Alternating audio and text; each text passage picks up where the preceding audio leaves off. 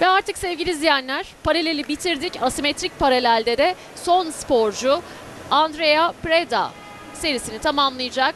Artık bu iki aleti de tamamlamış olacağız paralel ve asimetrik paralel. Sıralamayı belirleyecek olan seri olduğunu düşünüyorum şu anda bunun. Eşme kamutu yarım pürvetten Jager Salto. Ortalama yükseklikte bir Jager Salto'ydu ama sporcu başarılı gerçekleştirdi. Gayet güzel bir tıkaçev ancak aynen Ana Barbasu'da olduğu gibi çok uzaktan eee, tuttuğu sporcu barı. Bu da bazen savrulmalara neden oluyor. Çok yüksek bir puan kesintisi yok ama seriyi aksatıyor tabii ki. Yine alt bardan üst bara Şapoşnikova yarım burguyla sporcu geçti. Taban tam pürvette grubu bir hareket. Ve çift bükük salto ile sporcu serisini tamamladı. İşte atlama masasında bahsettiğimiz kalça pozisyonunun önemini burada görüyoruz. Sporcu açık vücut pozisyonunda gibi gözüküyor. Gibi. Evet. Sercan'ı sanırım üçüncülüğe taşıdı Ee, evet. yanılmıyorsam. Evet.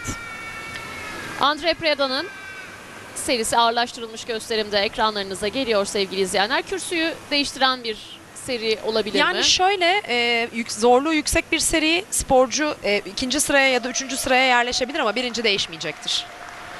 Yani çok yüksek ihtimalle Anna Barbasu burada altın madalyanın sahibi olacak.